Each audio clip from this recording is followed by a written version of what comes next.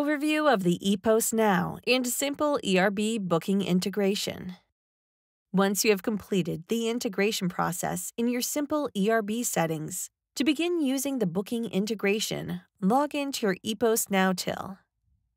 Within the till, access the Simple ERB app using the till's side menu or via the Action button. This will take you to the Simple ERB login page. Once logged in, you will see your Simple ERB account where you can view current bookings in the diary or input a customer booking or walk in using the booking view. When a customer arrives for their booking, to transfer it over to the till to open the table's bill, you will need to mark the customer's booking as seated in Simple ERB.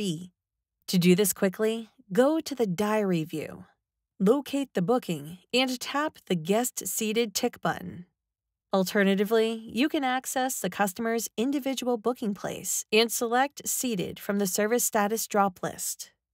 To get back to the till to begin placing the order, click the blue OK button located at the bottom right hand side. In the till, you will see that the customer's allocated table number will now be highlighted in a lighter blue color.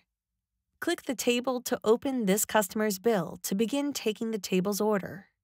On the table's bill, you will see that the customer's simple ERB booking reference, name, date, and booked time will appear. After the customer's bill has been settled on the till and you return back to your simple ERB diary via the app to mark the table as left or table ready, you will notice that the customer's total bill amount will be recorded in the notes section of the customer's individual booking place. If you are adding a customer walk in to your diary, there is no need to mark the booking as seated to transfer this over to the till to open the bill.